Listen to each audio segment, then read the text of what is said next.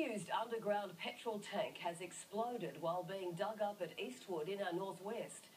And it's made an almighty mess, rocking nearby buildings to their foundations. Georgie Glover is there for us tonight. Georgie, do we know yet what caused this tank to blow? Yes, it's been confirmed that an excavator caused this enormous explosion, which witnesses say sounded like a sonic boom. Now, it happened at Motoring World just behind me here, and the road was closed in both directions as authorities tried to make sure that there wasn't going to be another explosion. But it was thanks to their quick thinking that a real disaster was averted. The deafening explosion sent actual shockwaves rolling through Eastwood. The blast so powerful it shattered dozens of windows, some up to 100 metres away.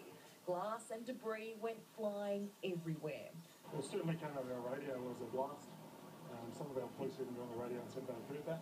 Like glass windows and then pretty much the whole front display for that showroom, they're just shattered.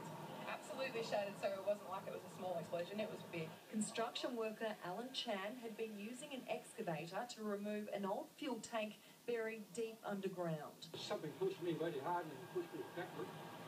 But I was still sitting on an excavator. Nothing, nothing happened to me.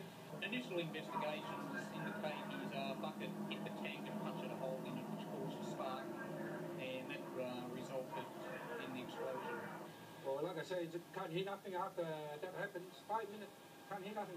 He escaped without a scratch, but no one can believe he even survived. Remarkably, the gentleman that was operating the excavator uh, had no injuries. Next door neighbours thought a bomb had gone off.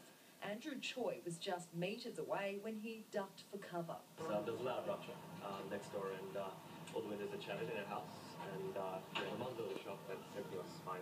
Nine people have been treated for minor injuries in a dramatic Friday afternoon they'll never forget.